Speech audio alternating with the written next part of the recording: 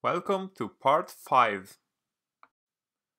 In the previous video we have set the stage for modifying our login application and we said we wanted to introduce a root and a home page uh, to the original widget hierarchy. Uh, we spent some time refactoring our authentication code so that um, the important code that was running uh, Firebase authentication uh, has been moved inside this uh, auth class and in this video I'm going to show you how to implement the new root and home pages. So the first thing that we're gonna do is actually quite simple. We're just going to create a new root page and uh, we are going to have that root page called directly into the login page. So let's create a new file and we're going to call this root page.dart and we're going to define it as a class root page extends and this is going to be a stateful widget. As usual, we must not forget to import uh, our material package so that everything can be found.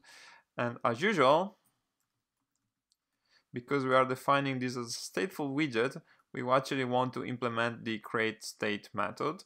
And as usual, we also going to define our root page state, which extends state of root page. And this class will have uh, a build method inside. Uh, let's clean up things a little bit. Uh, so we're going to use the arrow function here to return a new root page state and let's fix the indentation a little bit as well. Uh, so one thing I wanted to do really was to say that I'm going to import the login page and I'm gonna ask this root page directly to return a new login page. We know that this login page also require an uh, authentication parameter and we're going to have to provide this authentication parameter to the root page as well. So we're going to import it first.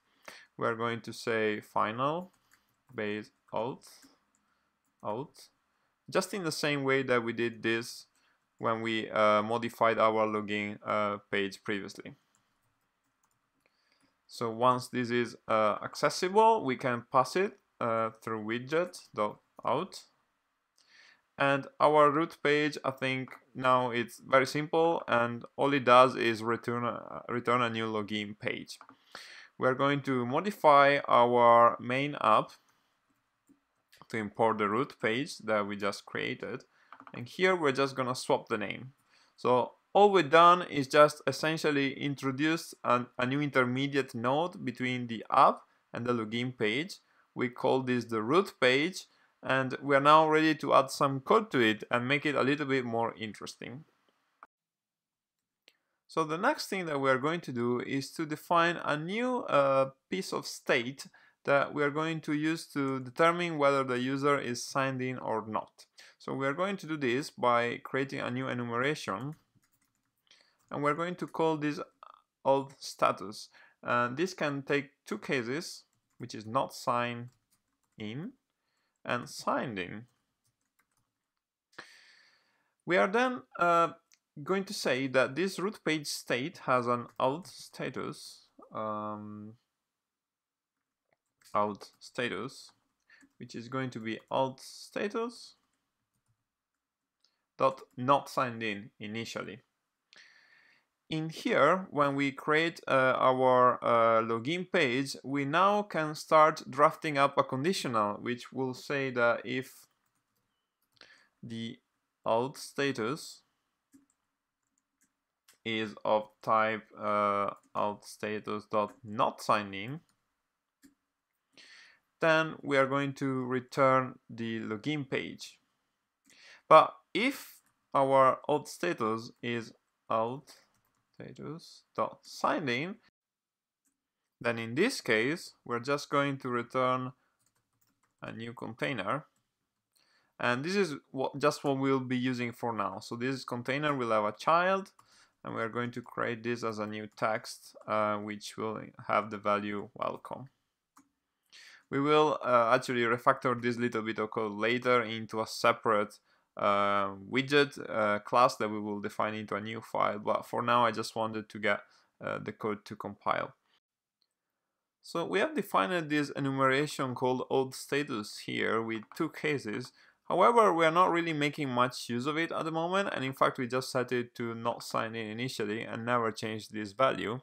And, and really what we want to do is check whether the user is signed in or not. And in order to do that, I need to introduce a new method from the Firebase Authentication API. And uh, I'm just going to show you what this method is like. Uh, I'm going to implement it directly within our auth class, which holds all the Firebase code that we've written so far. And I'm going to just define this method like this. Uh, so I'm going to call this current user, which is going to be asynchronous. And this is going to say Firebase user, user is await firebase auth dot instance dot current user and then return user dot uid. Now, what does this method do? We can easily find out. In fact, if we command click to inspect the implementation, it says asynchronously get a current user or null if there is none. Now, what is important about this is that this will always give us a valid user as long as the uh, user has signed in uh, previously with email and password or has registered. Uh, however, it will always return null if, if we never completed uh, login successfully. And this also applies when we, for example, close the app and, and start it up again. So it sounds like this is what we want to do uh, to use to check uh, what our auth status is. Um, in order for this method to be visible to our root page, we also need to export it into base auth. And if we now go into this root page, we can do something with it. Now, one thing that I'm going to do, and this is a new concept, is that I'm going to implement a method called init state. And what this method does is uh, it's a method that is called every time a stateful widget is created. So before the build method is called to create the widget tree, uh, we always get init state, and this is an opportunity to configure any initial state uh, in our uh, widget. So because init state is called before uh, widget build is called, then this is the right place to check for the current user. So um, the way we can do this is to say widget the auth the current user. And normally we would say here await and and uh, and assign the result a variable. However, the problem with init state is that it's not really declared as an asynchronous method, and because of that, we can't really use awaiting here.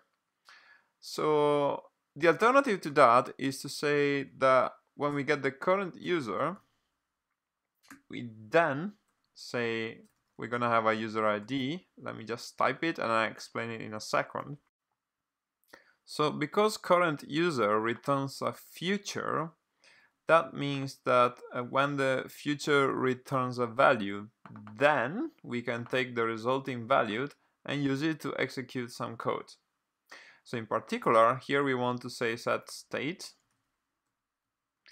And this is where we are going to update the authorization status of our widget. And the way we do it is to say that if the user ID is uh, null, for example, then the authorization status will be uh, not signed in. Otherwise, it will be authorization status dot signed in. So let me just repeat once more. What this code does is to check what is the status of the current user when we initially start the app and we're going to see uh, how useful this is in a second. So I just restarted the app on the simulator and let's see how this looks like. Um, this is, seems a little bit strange. I can see this welcome text in red at the top and uh, it matches with the text we added for our auth status.sign in which confirms that the auth status has been updated uh, and, and we received a user ID because we did previously authenticate with the app.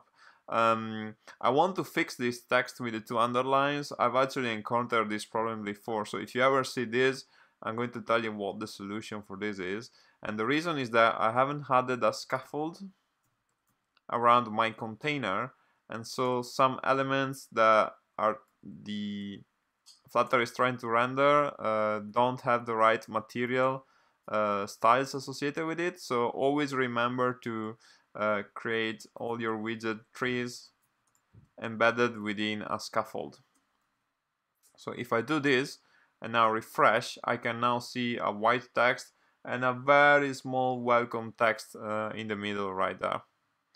So um, at the moment we don't really have a way out of this screen so I want to temporarily comment out this uh, line so that uh, for the time being the auth status will always be not signed in. Uh, I'm going to restart the application and make sure that when I come back to it I'm back on, the login screen. Okay, so I've just restarted the app once again and I can see that I'm now back on the login screen. Uh, so one thing that I now want to do is that when the user enters the email and password and then taps on login, uh, nothing currently happens because really there is no way for the login page to communicate back to the root uh, page that we have created. And if you remember, that was one of the steps that we wanted to do. When we sign in or create a new user, we want to send a message back to the root and, and inform uh, this widget that its state needs to change to auth status.signed in. So we are going to do that now. And the way we are going to implement this is to provide a new parameter to the login page and we are going to call this uh, final and this is going to be a void callback which is a shorthand for a uh, function or method that takes no parameters and, and returns no parameters and we're going to call this onSigned in. We're going to make sure that the caller has a way of providing this parameter to the login page. And what we want to do is to make sure that once we sign in or once we create a user we are now able to call back into this uh, new handler that we've added. And so we are going to say on signed in and this will ensure that uh, the root page can receive uh, a new message from the login page. Of course, we need to here uh, specify a callback handler for on signed in. And so we are going to create a new method which is going to be a void uh, signed in. And we can call this method from here and the way we are going to implement this is to say that we're going to set the state uh, and this time we can say that auth status is now auth status dot uh, signed in So with this change in place, we should be able to hot reload. And if we try to sign in with our usual test account, say test one, two, three, four, and we try to sign in, we are back to the splash screen with the welcome text that we introduced before. So it seems like we have managed to go back from the login page to the root page by providing a, a method callback. The next thing we're gonna do will be to build out our home page so that we can welcome our users and give them the opportunity to sign out and go back to the login page. And we will be doing this on the next video.